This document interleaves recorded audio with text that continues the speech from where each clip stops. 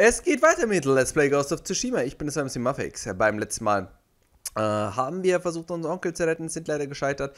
Jin hat hier eine Erinnerung gehabt, wie er auch damals hier leider seinen Vater nicht retten konnte. Und nun äh, sind wir dabei, mit Yuna hoffentlich mal jemanden zu retten. Und zwar verbündet zusammen, um unseren Onkel doch zu retten. Und zwar ihrem Bruder einen. Gefunden? Noch nicht.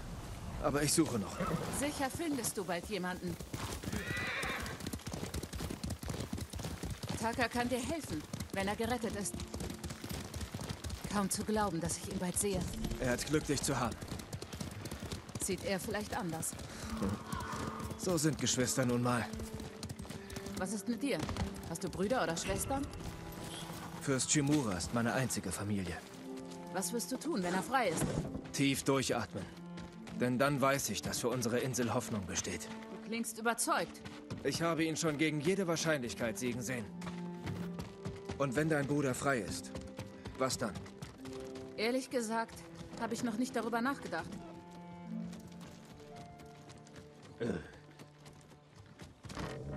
Toll. Ich meine, zum Stealthen wäre das natürlich ja super, aber eigentlich war ich jetzt auf der Suche nach Loot, aber das Loot scheint mich nicht zu mögen. Oh, da, da, äh. oh cooler Move. So, da haben wir doch was. Immer noch irgendwas Sinnvolles. So. Folgen wir unserem Wind. Das ist schon ganz nett, Mann, weil der, man sieht immer, dass er immer so ein bisschen mal von links kommt, dann von rechts kommt, dass man immer so einen guten Eindruck hat, wo man eben hin muss. So. Wir reiten jetzt mal nicht mit unseren Pferden hier voran. Obwohl hier so schöne, entspannende Musik. Da vergisst man gleich, dass hier eigentlich alles vernichtet ist.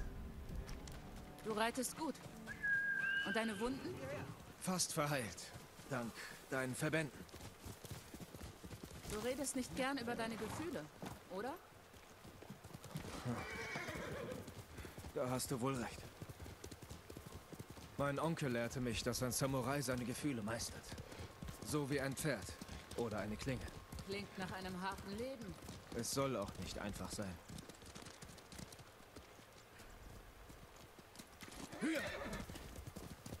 Jetzt ist gerade ein bisschen arg wünschte. Jetzt hatte ich, hatte ich schon die Befürchtung, dass ich schon vorbeigeritten bin.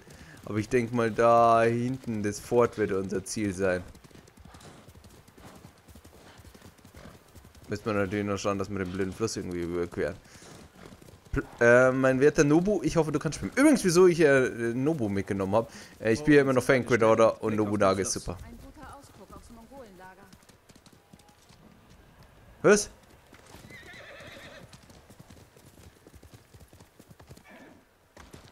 Was? Jin,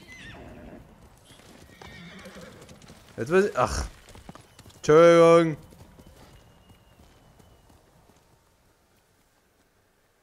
Muss ich jetzt wohin? Reiche. Ach so. hm, Okay. Ich glaube, ich weiß was. Da hoch müssen wir, oder? Äh, warte mal. Da geht's hoch. Ich werde halt einfach planlos reingestellt, so wie es ein richtiger Samurai macht. Aber okay. da ist das Lager. Schwierig hineinzukommen. Die Mongolen haben das Lager rasch hochgezogen. Es muss einen Weg reingeben. Mal nachsehen.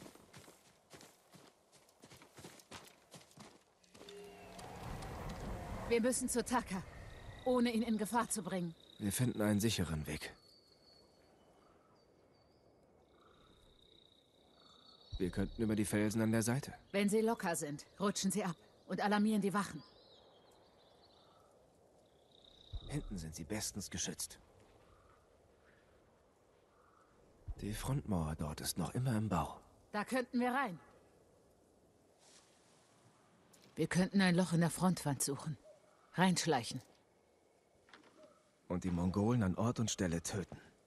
Wenn etwas schief läuft, töten sie die Gefangenen. Ich habe es selbst erlebt. Wir müssen leise eindringen. Wie Diebe. Was ist daran verkehrt? Vor den Samurai regierten Verbrecher die Insel. Wir führten Ordnung ein und sorgten für Gerechtigkeit. Wir leben nach einem Ehrenkodex. Und manchmal sterben wir deshalb. Krieger wie mein Vater, die unsere Heimat sicherer machen wollten. Ich will das doch auch. Doch es ist Zeit, dass wir uns wehren. Ich versprach meinem Onkel, den Kodex nie zu brechen. Dann umgehe ihn, um meine Familie zu retten. Und den Rest von deiner. Sehen wir uns mal an, womit wir es zu tun haben. Warten wir, bis es dunkler ist. Los geht's.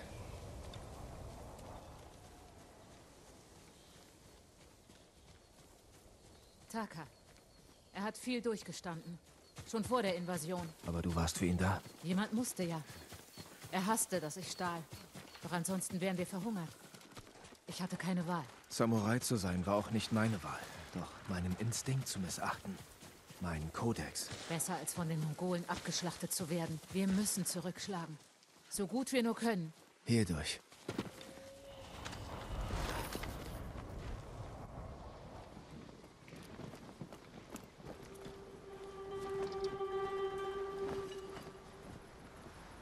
Uns sehen, töten sie die Gefangenen. Dann sollten wir leise sein.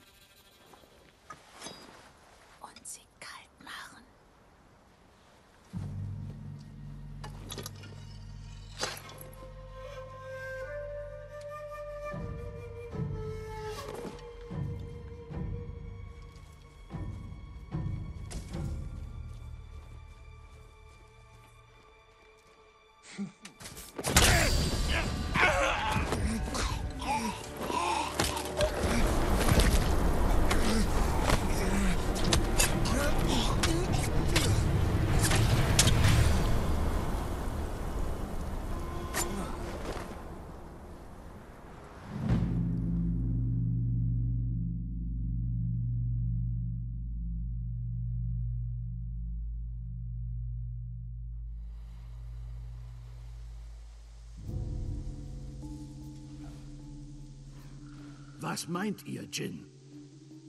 Der Bär humpelt stark. Euer Pfeil hat ihn verwundet. Dann ist ein Tier am gefährlichsten. Bleibt wachsam. Ja, Onkel. Bleibt an ihm dran.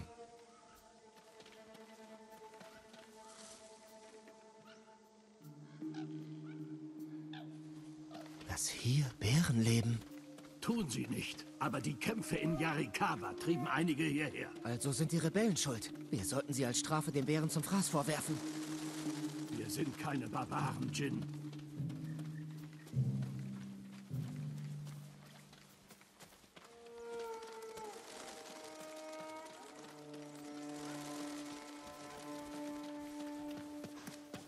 Hier ist der Bär gestolpert. Stirbt er? Nein. Wir kommen näher.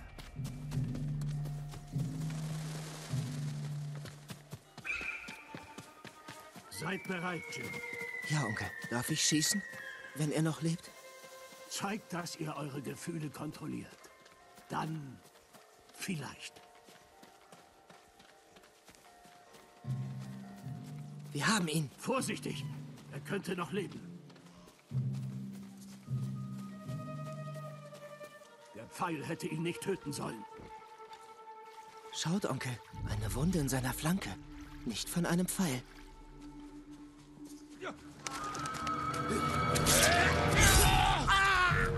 Ein Assassine! Aus Yarikawa! Verräter! Ihr fallt dem Sito in den Rücken! Für Sakai! Ihr müsst euch beherrschen. Wir sind keine Verbrecher, wie dieser Mann hier. Wir sind Samurai. Er wollte euch ermorden. Er muss dafür bezahlen. Mit seinem Leben. Seht ihm in die Augen. Lehrt ihn, dass ein Samurai nie aus Angst oder Wut handelt. Dann nimmt sein Leben. Ehrenvoll.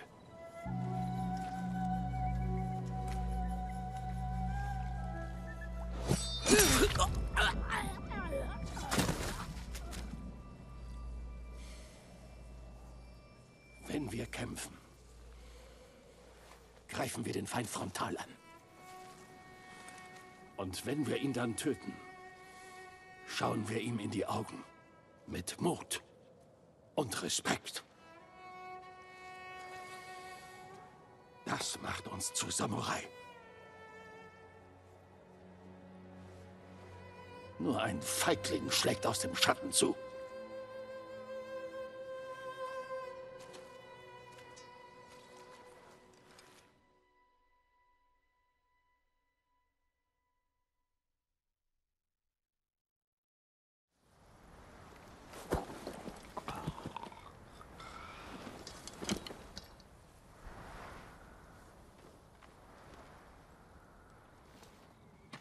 Jin. Was ist?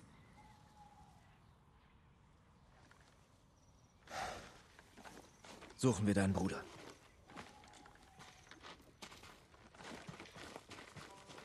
Sie dürfen uns nicht sehen. Benutz all deine Sinne. Denke und beweg dich wie ein Dieb.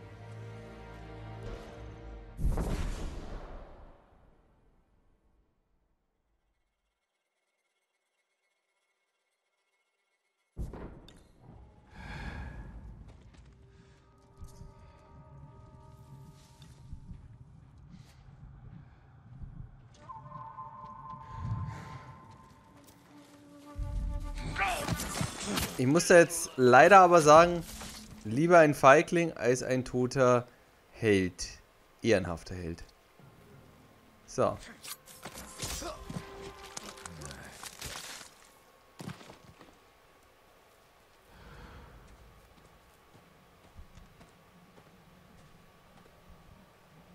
So, du kochst hier ein bisschen.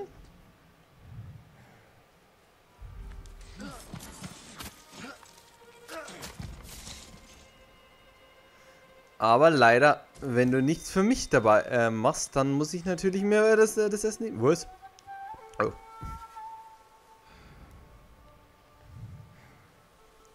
So. Und du saust dir da die Hucke voll, oder?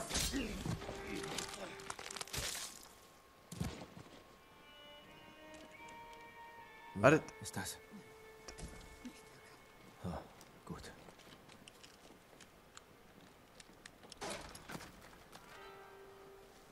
Zum Glück müssen wir hier wohl sagen. Okay. Die Vorräte habe ich noch keine Ahnung, für was die sind.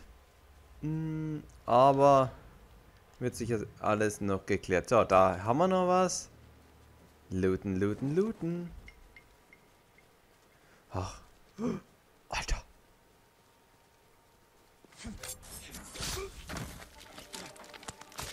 Wie hätte man den denn bitte sehen sollen? Ernsthaft, Mann, ich, ich, ich habe nicht gesehen, dass da noch einer ist, Mann. Das war jetzt nur Glück, Mann. So, gut, 20 Vorräte. Dankeschön. Das nehmen wir auch mit. Ah, und genau, damit habe ich schon mal ein gutes Upgrade, wo ich mich beim letzten Mal schon beschwert habe. Nämlich jetzt sehe ich auch, wenn da irgendwelche Objekte sind. Weil sonst wäre es ja wirklich planlos, dass ich in der Gegend rumlaufe und hoffe, dass ich ein Item finde. Ein Gefangener. Tucker? Finden wir es raus. Nein. Das ist nicht Tucker.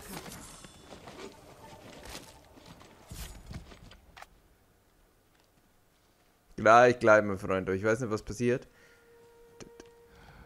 Wegen muss ich mir erstmal das Loot holen. Äh.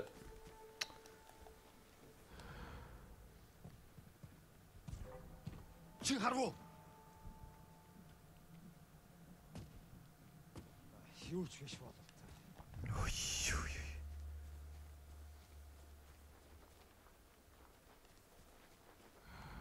Bei jedem verdammten Zelt gibt es immer einen Eingang seitlich, außer bei dem.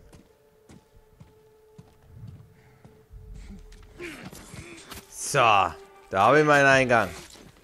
Aber sonst gibt es immer sowas, wo man schön reinsteigen kann. Hier natürlich nicht. Okay. Kistel. 21 Vorräte, liebe Leute, Mann. Ach, ich sehe schon, komm, das wird schon ein schönes Loot-Spiel werden. Und der Max die ganze Zeit äh, nur hockt, rumhockt und die ganze Zeit das nimmt, das nimmt, das nimmt, das nimmt, das nimmt.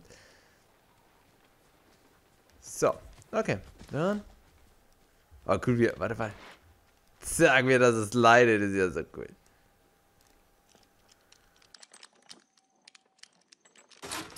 Wie seid ihr reingekommen? Wir müssen weg. Wir reden, wenn es sicher ist. Na los. Gehen wir zum Fluss. Dort sind wir sicher. Seid ihr von den Strohhutronin? War ich. Ich bin abgehauen, als ihnen langsam die Rationen ausgingen. Fürst Shimura wurde gefangen genommen. Jetzt brauche ich mehr Schwerter. Sucht ihr nach Arbeit? Nein, aber die anderen Strohhüte vielleicht. Zuletzt machten sie Jagd auf die Mongolen in der Zuzu-Präfektur, an der Küste nahe dem Kishi-Grasland.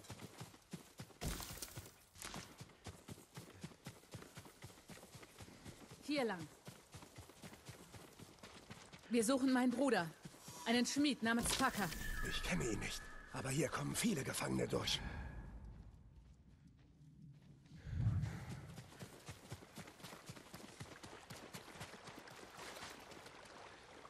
Ihr sagtet, sie verlegen die Sklaven. Wohin? Sie erwähnten die Asamo-Bucht.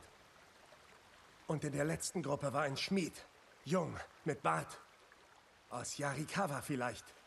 Ihr habt besser recht. Ich hoffe, ihr findet euren Schmied. Taka lebt. In der Asamo-Bucht. Die Stadt ist umgeben von Mauern. Hineinstürmen ohne Plan bringt ihn nur in größere Gefahr. Ich habe einen Freund, der könnte uns hineinbringen. Finde ihn. Je eher wir Taka retten, desto eher retten wir meinen Onkel. Jin. Taka schmiedet dir das nötige Werkzeug, sobald er frei ist.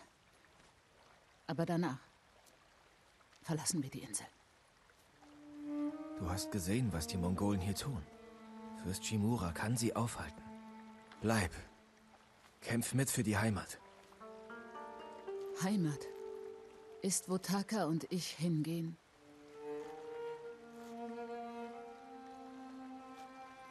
Mein Freund lebt in der Asamo-Präfektur, an der Grenze zu Tsutsu. Ich treffe dich dort. Ich weiß, es war nicht leicht. Das Brechen des Kodex. Ich tat, was ich musste. Danke.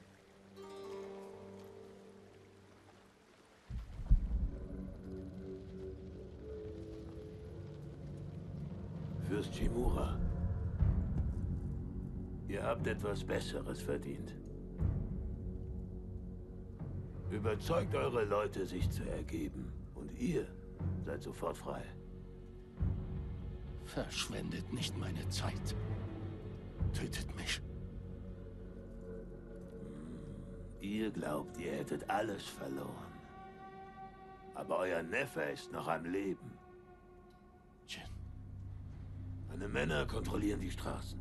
Sie bauen Feldlager bei euren Dörfern. Sie sehen alles an jeden. Und sie werden ihn finden. Fürst Sakai wird bis zum letzten Atemzug kämpfen. So wie ich. Ihr liebt ihn.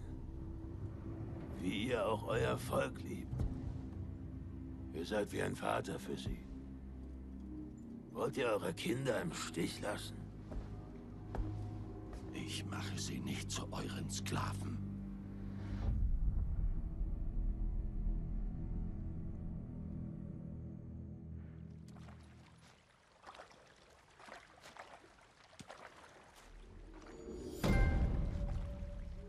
Der Kriegerkodex, kein Weg mehr zurück, haben wir abgeschlossen.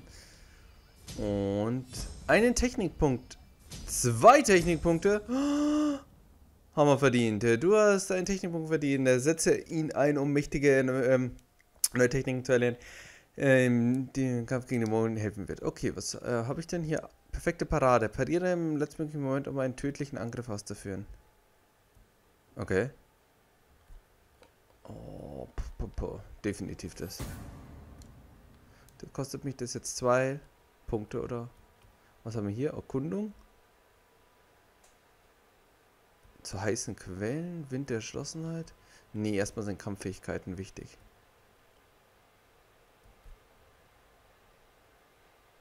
Pariere einen unblockbaren Angriff vom äh, Angriffe mit blau schimmernden Linien können pariert werden.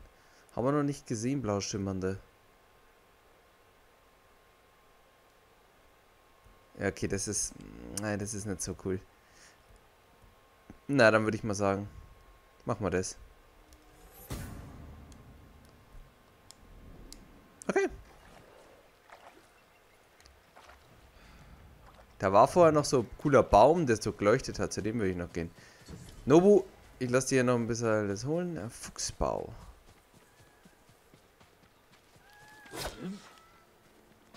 Stirb, Fuchsi. Äh, und was kann ich jetzt hier machen? Muss ich jetzt den Fuchs jagen oder?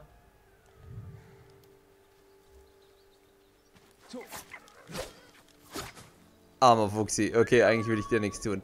So, dann schauen wir mal. Hm, wir sind jetzt hier oben. Da ist der goldene Tempel. Da ist ein unentdeckter Ort. Wo waren wir denn?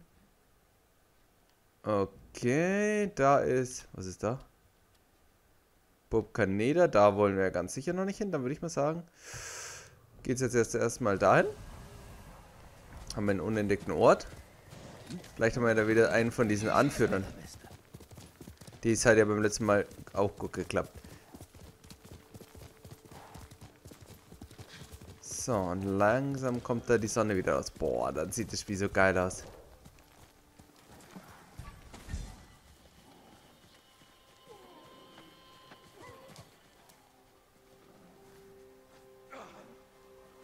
Hä?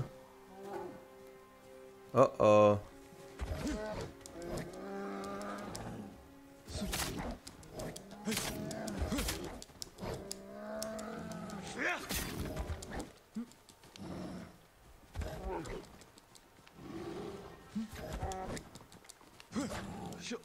Alter.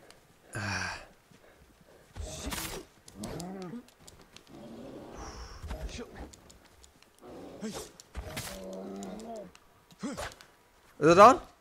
Ist er down? Alter Falter. Na, das ist gefunden. Okay. Auf solche Ressourcen kann ich gerne verzichten mal. Das war ein starkes Viech. So. War das jetzt der unentdeckte Ort? Nee, noch nicht. Der muss ja auch ein paar Menschen irgendwo massakriert haben. Hat sich zumindest das Ganze angehört. Plätze! Na, bleiben wir bei Nobu. Wie gesagt, Nobunaga aus äh, Fate Grand Order ist natürlich mein anderer Nobu. Deswegen bleiben wir bei Nobu. Also, dann schauen wir, was wir für einen coolen Ort hier als nächstes entdecken können. Auch wenn das hier... Ja, das ist, äh, umso weniger Bäume sind, umso schwerer ist es, dem Wind zu folgen. So. Lager der Überlebenden. Das ist ja im Endeffekt eigentlich was Gutes. Würde ich jetzt einfach mal behaupten. Sollen jetzt nicht allzu viele Gegner auf uns lauern. Ah, sieht sogar sehr gut aus.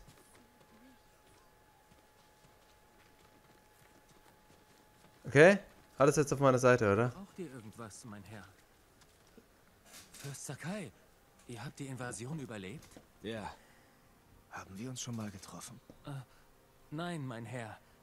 Doch ich sah euch in die Schlacht reiten. Bitte nehmt dieses Geschenk an. Es heißt, wenn ihr das tragt, führt euch eine Seele zu allem, was ihr sucht. Klingt, als hättet ihr dafür auch selbst Gebrauch. Nicht, wo Mongolen durchs Land streifen. Doch falls sie euch zu Blumen führt, bringt sie mir. Oder anderen Händlern. Wir können daraus Farben herstellen. Ich werde daran denken. Danke. Tracht der Reisenden. Perfekt für alle, denen eine lange Reise bevorsteht. Also, kaputte Rüstung ist jetzt nicht so. Spielt Artefakte mit dem leitenden Wind. Äh, Reisen lichtet. Ach so, okay, das ist dann, wenn wir mehr Fähigkeiten haben. Und die kann ich auch gar nicht mehr verbessern. Okay. Dann bleiben wir bei der Erklärung. Kopfband habe ich noch keins. Gehört euch, wenn ihr mir mehr bringt. Habe ich nicht. So, du kannst jetzt neue Orte mit dem leitenden Wind verfolgen. Ah, okay, ich kann jetzt Artefakte hier verfolgen. Danke. Okay, aber wir gehen natürlich jetzt als nächstes erstmal dahin. Ich wünsche euch stets freies Geleit. Noch ein Samurai? Lebendig? Ich dachte, Fürst Jinroku wäre der Einzige. Der Name sagt mir nichts. Er ist in Kashini, mein Herr. Es freut ihn sicher, euch zu sehen. Ich würde ihn gerne treffen.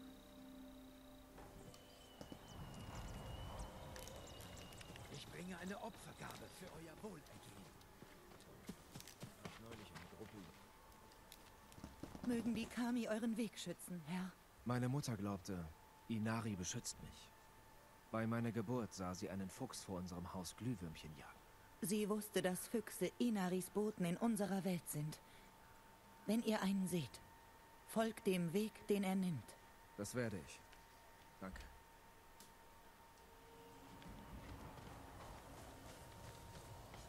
Mein Herr, etwas von euren Jagdzügen anzubieten?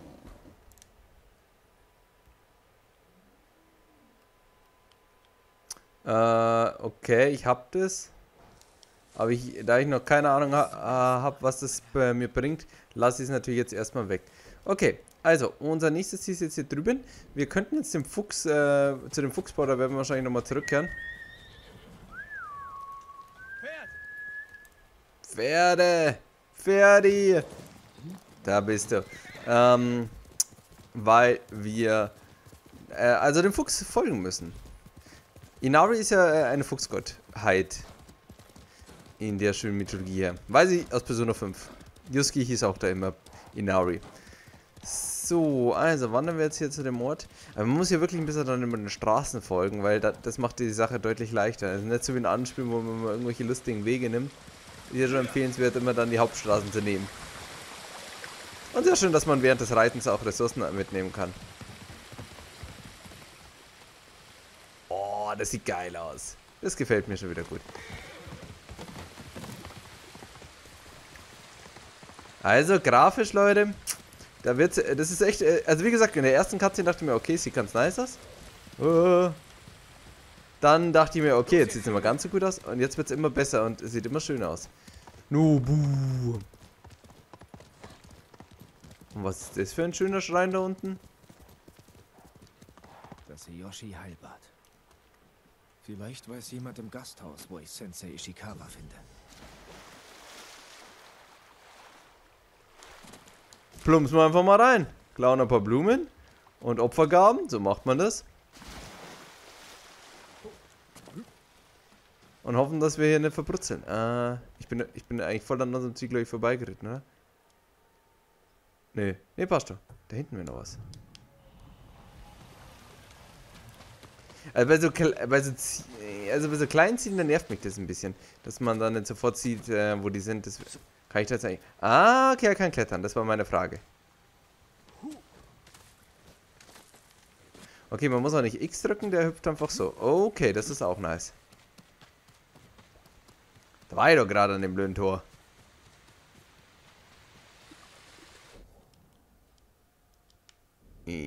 Okay. 140 Meter. Treibe mich weiter, Wind. Du wirst es schon wissen, wo es lang geht.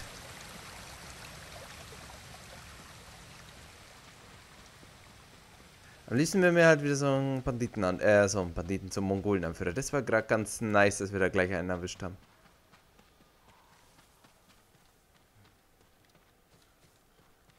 Ist halt einfach der Ort, wo ich herkomme. So, einmal tief durchatmen und weiter geht's. Okay, da oben. Ja, okay, das wird schon angezeigt. Weil ich meine, das ist schon ganz cool mit diesem, dass, äh, dass man eben komplett auf das HOD verzichtet. Aber es wird schon ein bisschen nervig. Also, wie gesagt, bei solchen Orten, dass ihr jetzt nicht wisst, wo ich hingehen muss. HOD ist zwar immer schön und gut, aber spielerischer Nutzen ist halt doch immer. Also, Spielekomfort ist halt doch immer ein bisschen wichtiger. Und das ist gut so. So. Sensei Ishikawa Pistole. Okay. Bambus. Blumen.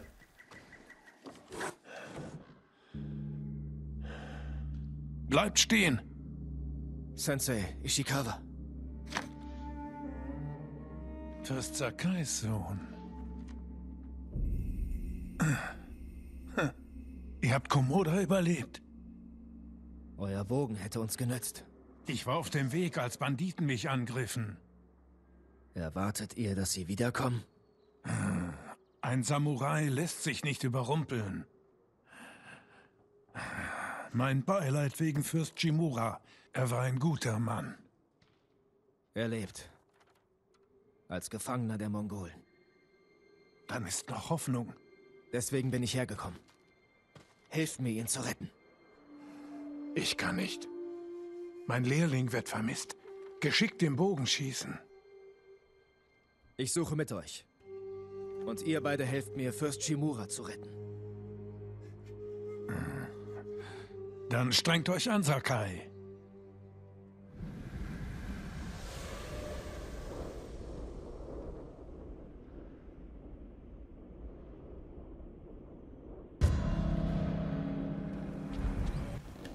Okay, liebe Leute, das ist es nicht. Da wollten wir wegen unserer Hauptquest eigentlich in das Dorf und so schon. Jetzt habe ich hier das ganz äh, um, zufälligerweise gefunden. Gut, bevor wir aber weitermachen und uns seine Geschichte hier dann an, machen wir einen kleinen Cut. Beim nächsten Mal geht's weiter mit Let's Play Ghost of Tsushima. Bis dahin, auf Wiedersehen. Ciao.